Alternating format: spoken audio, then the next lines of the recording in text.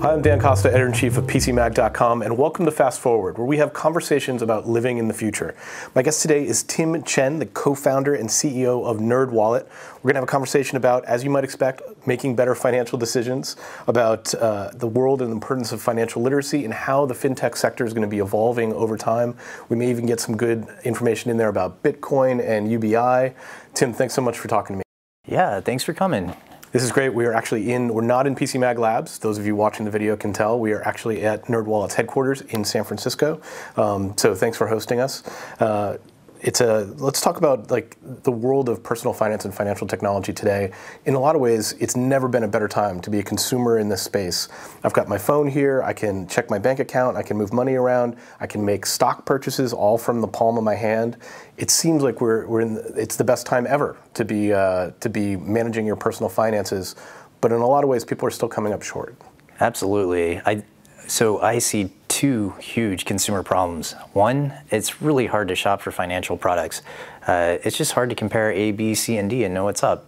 And two, uh, you just don't know what you don't know about money. Um, unless you have a great financial advisor who's guiding you along, uh, you just don't know what to do next. And uh, NerdWallet is really setting out to try to solve both of those problems. And most people feel like, you know, before you get a financial advisor, you need to have some kind of, you need to have a certain amount of money to protect.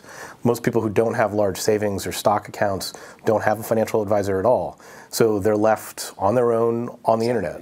Um, and NerdWallet actually answers a lot of those questions for them. Um, in part because they have questions and they go to search, but you're doing something more than just answering questions via search, right? Right, exactly. So uh, typically a financial advisor, if you don't have 250K, 500K in assets, they'll say, come back in five years. Um, we, we don't have time to manage your money. Uh, and NerdWallet is really trying to bridge that gap. How do we get the up and coming millennial um, or uh, any millennial to just get better financial advice, know what to do next, and get just get the facts? So how what makes NerdWallet different than all of the other financial how-to sites on the, on the internet? We are NerdWallet's obsessively consumer centric. I mean, I actually spend a ton of my time going around the country, going into people's living rooms, showing them NerdWallet, asking them questions about their financial lives, etc. Uh, just understand what they need, and that permeates throughout the whole company. So. Uh, my hope is when you go to NerdWallet, it's very obvious uh, that level of care and detail has gone into everything we write, every product we create, uh, and we develop our roadmaps based on consumer need, not based on like a tops-down view of the business.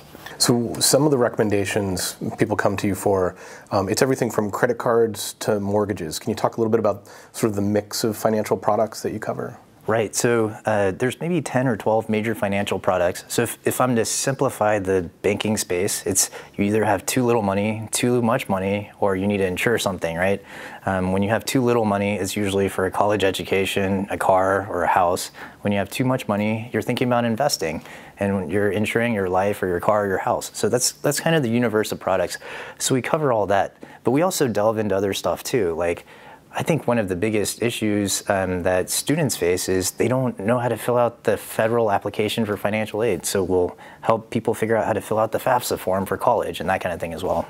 That seems like you know that gets to the crux of the matter, which is that people don't understand that there are such things as financial products. Right. They just think that there are things they have to pay for, and they don't necessarily know the best way to go about it. Exactly, and how you typically uh, go about getting something like a student loan or a mortgage is you either talk to Uncle Bob, so we hear a lot of that, or um, you just do what the banker told you at your local branch, and that's not shopping. Um, in fact, a lot of these financial institutions are able to make so much money because they leverage their direct relationships with you to give you products that are at prices that are worse than you can find on the internet. Um, and pricing is interest rates or fees in financial products. We try to surface all those things very transparently. And there's some core concepts too that when you go shopping for mutual funds, for example, and you get managed funds, the fees associated with those funds seem very, very small when you buy into the fund. But then when you start calculating what those fees would cost over a 20 year period or a 30 year period, the, the difference is huge. And, and most people just have no innate understanding of, of that, that opportunity that they're losing. Right. Uh, one, one of my painful moments of the last three years was when my parents called me and said, hey, we just put money into this fund. There's like some 5% upfront fee and like it locks rates and all this complicated stuff. And I was just like, oh man, not you guys did, too, right? Did they not know what you did? Have they not visited the site? Right, they're they're very independent. Um, they they visit the site, they use our credit card products, but they didn't even think that there could be this kind of landmine when it came to buying managed funds. My stepfather does the same thing when he goes shopping for cameras. Right. He's always sending me the camera that he just bought. I'm like, did you look at the reviews on PC Mag? Like, right, yeah. you know, I do this full time. Um, so we have that in common anyway. Yeah. Um, but let, us talk a little bit about that, that idea of financial literacy, because that's not something that we teach in elementary school. It's not something we teach in high school. You can graduate college right. without ever having a basic understanding of how compound interest works. Right. Um, where should we, where are we falling down, and, and what do we need to f- close that gap?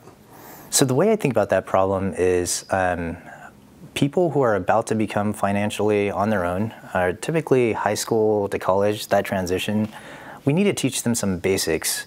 But it's completely impractical to teach them everything. It's like asking them to memorize Wikipedia. Mm-hmm. First of all, what's the point? And second of all, we just want them to make good decisions, not to know everything, right? So to your point, I think there's some basics like compounding interest, um, how credit scores work, when you need certain things that, that we can do right around that age.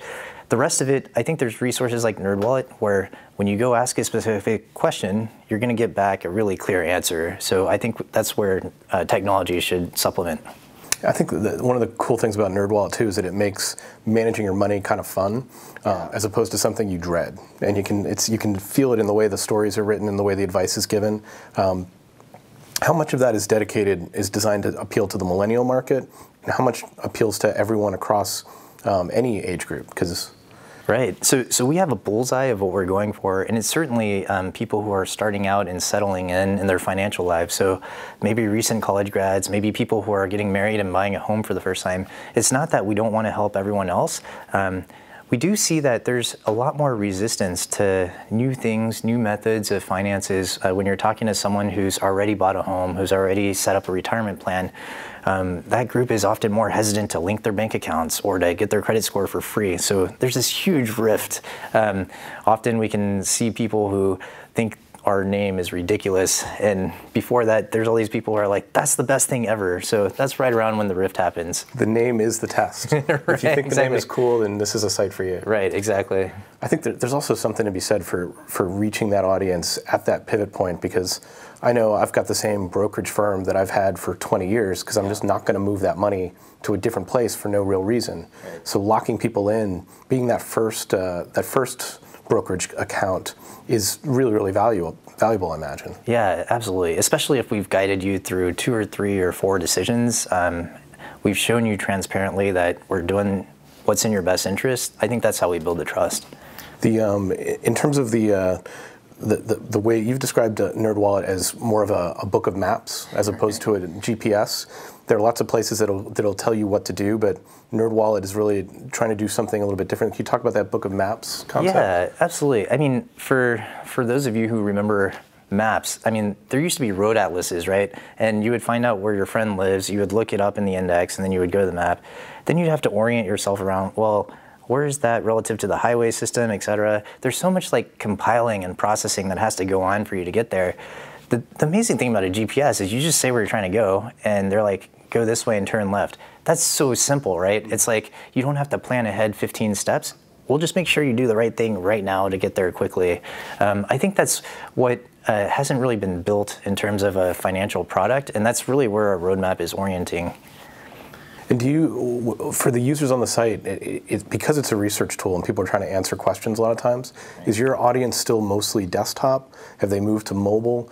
Uh, do you see a future for NerdWallet in social media platforms where people are getting most of their right. news information these days? Right. So we became more than 50% mobile at some point last year. If you had asked me five years ago, I would have said, that's ridiculous. Who's going to apply for a mortgage on their phone? Or who's going to apply for a, even like a credit product on their phone? Um, who's going to try to learn about the FAFSA on their phone? Um, but, you know, as phones have gotten bigger and internet's gotten faster and we've gotten better with user interfaces, that's become super popular. Um, you know, social social is such an interesting thing when it comes to money. It's something we've been thinking about more things that work on social are a little bit different in terms of orientation. So, for example, uh, if we were to talk about tiny houses and how they could let you retire 10 years earlier, that's something millennials love. They're like, man, that's visual, there's like design elements, and hey, I could actually work a lot less if I lived in a tiny house, right? That stuff works really well on social. So we're definitely investing in engaging people that way as well. Does the and how active is the community? I mean, you guys create a ton of great content. It tends to be very specific, very useful. Um, is the community helping itself out? Do people feel like they're part of the NerdWallet uh, uh, clan? Absolutely. I mean, if you if you look in our analytics, we definitely have our power users that are coming back all the time. Um, people who use us for one thing often come back and use us for something else. Uh, so I think like yeah, that that's one of the things I'm the most proud of that we've accomplished so far. The, uh, we're entering this age of automation where so, so many processes are being replaced by artificial intelligence engines, and, um, and, and that's taking off a lot of our decision making. Do you see financial decision making? Um, I mean, obviously, the financial firms have tremendous resources to target, to optimize, and to price their products. Do you see consumers being able to take advantage of these AIs to like help lead people through their financial lives and maybe calculate some of these costs for them in real time? Absolutely. I mean, we, we talked earlier about financial advisors and how it really only makes sense as, say, like uh, one of the big money management firms, if they have 500,000 in assets and I'm charging them 1% a year, and then, yeah, maybe I can give them some level of service with a human. Um, but what technology enables is uh, really creating these like heuristics around like how you should make decisions. We can apply those heuristics to the data we know about the user and deliver it through an app, for example. And maybe we can save the human interactions for you know those times that are really critical. Maybe we can call in, right? So I think that's really the way the world is going. Um, I predict that well, we really want to provide financial advisory for the 99% and make that scalable. So I predict that's where the world's going. Would you uh, be would you invest? I'm not sure if you have a bot uh, already that can provide financial advice, but do you think that bot technology will be sophisticated enough that it'll be able to at least cover the basics of financial research or some the calculations? it's gonna i think it's gonna take a really long time i mean a lot of these the the challenge is the complexity of personalization right so a lot of times I need to ask, if you ask me a question, I need to ask you five to seven more questions to really be able to provide an appropriate answer. I may need to know um, your tax status or what state you live in, or if your goal is to send your kid to college, or you know things like that. Those all factor in. So that set of five to seven questions is different for every single question you may ask me, right? Mm-hmm. So this is a very complex thing. So the way we're attacking it is really trying to take it one chunk at a time. Um, and I think eventually we will be able to standardize huge trees of the decision making. Interesting. The um, so I have to ask you about Bitcoin. Uh, Bitcoin is trading near an all-time high. Um, a lot of people are, are, talking about it. Even very everyday people on the street ask me, should they invest in Bitcoin? Um, I, what do you think about Bitcoin as an investment product? So, so as a former investor, um, this really pains me to see. It has all the characteristics of uh, any bubble that we've seen since the tulip bubble in the 1700s, right? Um, I would say if Chinese grandmas are borrowing money to invest in something, it's probably a good idea to stay as far away as humanly possible from this thing. That's the last money in. right, yeah. But if you look at the way the, I mean, the curve of, of what Bitcoin itself has been worth since the beginning of the year, it's extraordinarily tempting to feel like you're missing out on something. Absolutely. It's speculation. It may still go up 2, 3, 20x, but there's really, you just have to realize it's gambling. so.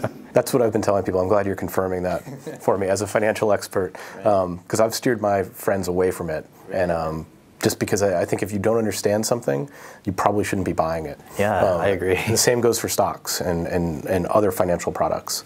Um, let me ask you about another hot topic in Silicon Valley the idea of universal basic income. Um, it seems like it's taking hold in the Valley faster than in the rest of the country. Uh, I think part of that's because people uh, in the technology space really understand how powerful these automation movements are and how many just how many jobs are going to be eliminated. Um, but do you think universal basic income is, is, sort of a valid concept and how long would it take for us to transition to something like that? Well, this is a bit of a politically loaded question, so I'm gonna I'm gonna try to um, argue the other side a little bit, but I stand I stand a little bit neutral here. Um, so if you uh, take an example and look at Saudi Arabia, uh, they effectively have universally uh, UBI, right? Um, but they are having a lot of trouble motivating the workforce uh, to take even highly skilled jobs. Um, uh, this airplane parts manufacturer tried to create a factory in Saudi Arabia. they couldn't get people to come and work. So there's definitely that element to consider. Um, I've been reading a lot of history lately as well, and I think a lot of um, a lot of these notions that jobs are going to be destroyed by technology are recurring themes that have popped up in history over and over again. I really do believe that um, we're going to see an explosion in service jobs created by a lot of these uh, technology trends, and we will find uh, productive work for a lot of people out there. It's um, it's an interesting approach too, because I mean, the, the, I think it's hard to say. You'd have to imagine that people would be disincentivized to work if they were make if the universal basic income was high enough that they didn't have to work. Right. Um, at the same time, when I've been doing interviews, I've been talking to people like, do you think there are going to be as many radiologists in 10 years as there are now? Do you think there'll be as many truck drivers? Right. Um, it seems like we can go industry after industry and say these are the industries that are going to take hits. Um, I, I, I, just don't know where that line gets drawn between where you know. I, am not sure what those new jobs will be that people will be able to will be able to transition to. Yeah, I mean, if if you look at human history, right, almost everyone used to work in an agrarian capacity, and human ingenuity created all sorts of new jobs and technologies uh, since then. So I do believe the same things will happen. Let's talk about. Uh, let's get to the questions I ask everybody on the show. Okay. Um, in terms of technology trends, what is it that concerns you the most? Is there anything that keeps you up at night and just makes you feel like we're going in the wrong direction on this? I think social media is extremely insidious. Um, I think it's a very reactive medium. I'm going to consume whatever content that an algorithm or other people put in front of me. I'm the happiest when I seek out new knowledge reading books, um, just like these considered, deeply researched pieces and I think that there's something really lost there when we uh, start to surface so much stuff on social media. That really worries me. It's, it strikes me as the, the, the problem with social media is that it's, it's not accidental. It's designed to distract and, and entertain you. Exactly. As opposed to inform you. There's no advantage to informing you. Right. There's lots of advantage to distracting you and sucking up your time. Bad impressions, right? Yeah. Yeah. And data, and and and data. and, and uh, establishing a profile of your likes, right. so that it creates this uh, self-fulfilling circle where the better, the more you click and the more you like, the more your experience can be catered to, and then it just it, it continues to occupy more and more of your time. Right, and it narrows your mind into like-minded individuals. I, I, find that very challenging. Including, I mean, it's almost like uh, having a, a, playlist that you've uh, that's all of your favorite songs, and then you don't discover any new songs. right, exactly. And, um, for every category of content. Right, exactly. Yeah, I. I enjoy the books most that change the way I think about things. You don't find that as much on social media. Uh, is there a, a, technology trend that uh, you're very excited about that you think is uh, that you wake up and it inspires wonder in you? You're like, I can't believe we've done this. Yeah, I mean, I do think that um, this is very basic, but I find delight in things like Instacart. I mean, I think there's, I am so busy. It's so hard to eat in a healthy way, and I find the process of cooking meditative, creative, etc. I think it's just like something very fundamental that all people should do to have a balanced life, right? Instacart makes cooking possible for me. So I absolutely love that. So it's kind of offsetting the social media thing a little bit for me. And saving you time and, and actually giving the, you more time in the average day as opposed to social media, which absolutely. consumes time voraciously. Absolutely, yeah. Is there a um, is there a device or service that you use every day that uh, you couldn't live without? That that would be Instacart, really. Okay. it's, it's, funny. I've actually tried to um, unplug in a lot of areas and try to actively focus on being more analog. Very cool. Uh, in terms of finding uh, you online, f- following what you're doing, obviously nerdwallet.com is a good place to go. Right. Is there any other places people can follow you on social media? Well, I try to stay off social media, um, but I'll log into Twitter once a quarter. So I'm Tim Chen 82. Once every three months. right. Okay, that's not going to overwhelm you. right. So I might I might take a little bit to get back to you, but Tim Chen 82 on Twitter. Very cool, Tim. Thanks so much for doing this interview. I appreciate it. Absolutely. Thanks for having me. That is Fast Forward for today. I want to thank you for joining us. If you want to see back episodes of this show, you can go on PCMag.com, of course. You can also check it out on Apple Podcasts, Google Play, and everywhere else that fine podcasts are given away for free. Thanks for joining us. Leave us a comment in the comment section. We always appreciate those, and I'll see you in the future.